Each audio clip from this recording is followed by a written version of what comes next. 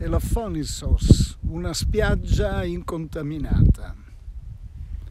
Lo era, fino a che, come vediamo lassù alle mie spalle, la protervia del denaro non, non ha portato qualcuno a pensare di essere il faraone che tutto può e tutto può disporre.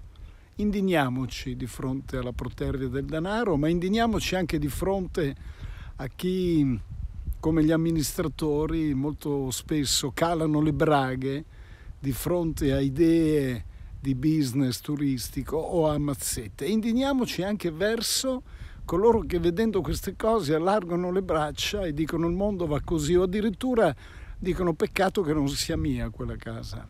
Ecco, indigniamoci verso tutti e tre di questi soggetti perché fanno parte della stessa scala